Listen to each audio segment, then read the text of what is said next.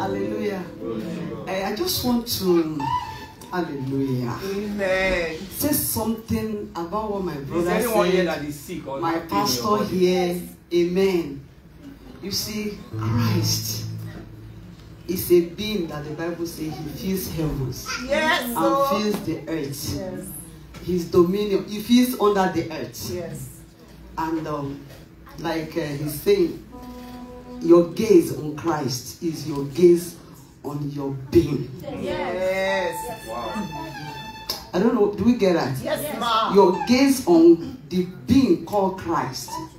Like he said, it's not uh, the Jesus of Nazareth because he was a compressed form Hey. of who he was to become a man and that man is you know like uh, apostle was saying sometimes ago he said do you know what poverty is mm-hmm. he said that is a high level of poverty You. for god to descend so low Yes, and dwell in a body Aye. you know but after Yes, the work Yes, you know Glory. that glory Glory. he said give it to me Glory. and that same glory he gave to Give us. to us. So you are a being. What I'm going is you are a being that fills heavens mm. Mm. and fill the earth and fill under the. So I'm not surprised if you say you find yourself in America doing one thing. I'm not shocked if you say you see yourself in Europe doing one thing and you are in America and Europe at the same time. I'm not shocked because Jesus will not take permission from any nation to enter there because he's everywhere. And that is so weird. It's high time we begin to really realize this. And as long, you know, what we call consciousness, heightened awareness. Yes. You got it yesterday. It seems as if, is it, is it not? Hold it. It will become clearer. Hold it. It will become clearer and clearer. And, you know, and I also want to talk about character wise is the who you are that should be manifesting your character. Is the character you should be expressing.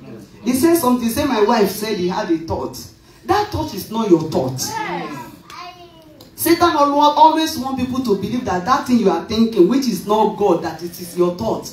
He just want acceptance. Yeah. he's looking for an entrance into the earth. It's not your thought. So anything that is not christ that is that is not christ is not you. It's not your reality. So what do you do? No this is not me. Most times i plan to say hey that is a lie. It's not true. Whenever you heard me say it's not true I know it's not true. Know that something something you understand? Something that is not christ is trying to no no no it's not it's not true. It can't be true. It's not true. It's not true. And that's where i've been able to you know shut out so many things please watch what comes into your heart because once you allow it in your heart you will act it out and all we are is Christ. Act Christ. Speak Christ. You know, anything, everything, express Christ. Praise God. Praise God. You know, it's a great meeting, Pastor. I am apostle, apostle of Jesus.